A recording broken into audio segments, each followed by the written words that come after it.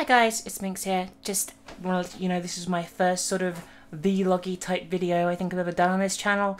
You won't see my face. I want to make it clear right at the start of the video, no faces. Although you do see part of my hand briefly in this video, so I'm sure that will entertain some of you immensely. Anyway, um, this is a, a, little video, very short video about the setup uh, my new computer. So uh, check it out. Hope you enjoy. Um, there'll be more of these in the future, assuming this one uh, is relatively well received. I'm not used to filming real life stuff, so I apologise if it isn't 100% great, but uh, yeah, check it out. Hi guys, Minx here, and here it is, my setup video thing. And uh, I apologise for the rattling noise in the background, that's the uh, wind blowing the blinds, but uh, here we are. This is uh, my monitor, and the hard drives and modems and stuff, and most importantly of all, a fan, because that's why I need to live at the moment. It's been so hot here. Um, what's this there? It's a, it's a, it's a train ticket. It's a train ticket. Oh.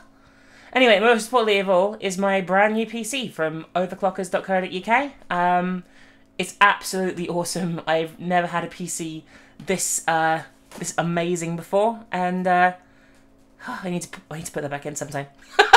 There's fans under there. There's fans under there. Uh, anyway, let's have a little look at it, a little tour around it. I'm not particularly technically minded, but uh, this computer is awesome. Uh, it's got a thing called a Super Flower PSU power supply in it, which I'm told is one of the best out there at the moment. They're awesome. It's got 16 gig of RAM, an awesome graphic card.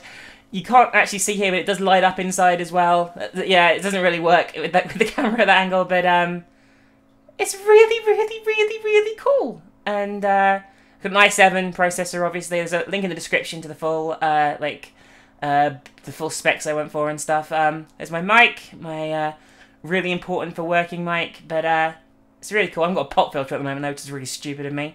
And uh, yeah, overclockers.co.uk. Awesome customer service as well. They fixed some problems I had with that. There's a fan. Check it out. It's a fan. And you can turn the light on and off as well. Like this lights up inside the case too, and you can turn it on and off there. Isn't that amazing? And you can see my hand, and there's my thumb. Lovely.